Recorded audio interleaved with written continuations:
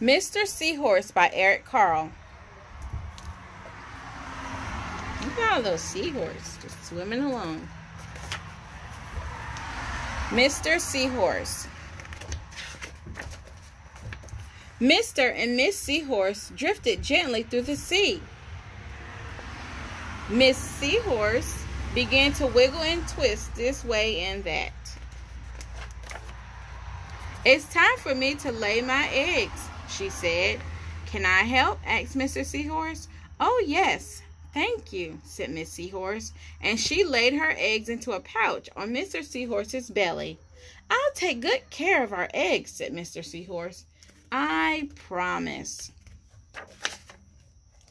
As Mr. Seahorse drifted gently through the sea, he passed right by a group of trumpet fish hidden in a patch of reeds.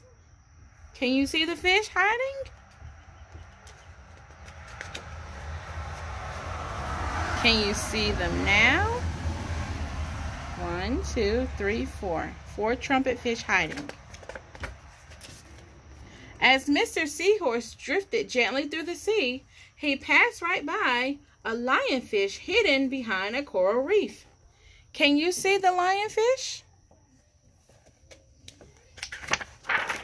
Can you see it now?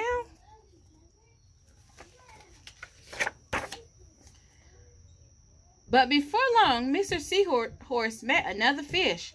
How are you, Mr. Tilapia? asked Mr. Seahorse. Mr. Tilapia couldn't answer. His mouth was full of eggs. I know, I know, said Mr. Seahorse. Miss Tilapia laid her eggs. Now you are taking good care of them until they hatch. Mr. Tilapia nodded his head. You must be very happy, said Mr. Seahorse, and swam on his way.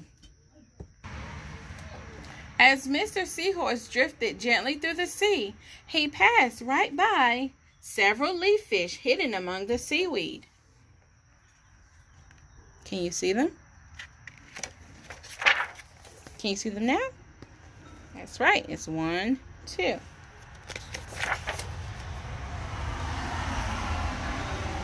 But before long, Mr. Seahorse met another fish. How are you, Mr. Kurtus?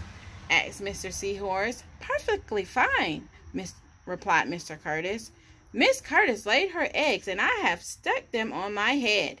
Now I am taking good care of them until they hatch. You are doing a good job, said Mr. Seahorse, and swam on his way. You see the eggs on Mr. Kurtus's head?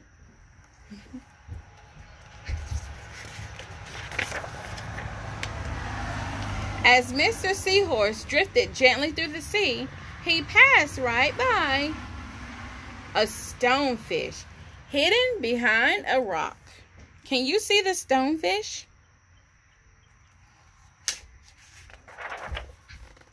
There he is.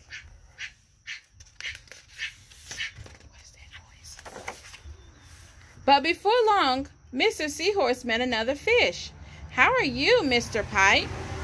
Asked Mr. Seahorse. Couldn't be better, replied Mr. Pipe. Miss Pipe laid her eggs along my belly. Now I am taking good care of them until they hatch. You should feel proud of yourself, said Mr. Seahorse, and swam on his way. This road is really busy today. But before long, Mr. Seahorse met another fish. How are you, Mr. Bullhead? asked Mr. Seahorse. Tip-top, replied Mr. Bullhead. Miss Bullhead laid her eggs, and the eggs hatched. Now I'm babysitting. You are doing a fine job, said Mr. Seahorse, and swam on his way. See all those little babies? a lot of little babies. Look what happened. See all the little baby seahorse? The time had come for the seahorse babies to be born. Mr. Seahorse wiggled and twisted this way and that. At last, the babies tumbled from Mr. Seahorse's pouch and swam away. One baby turned around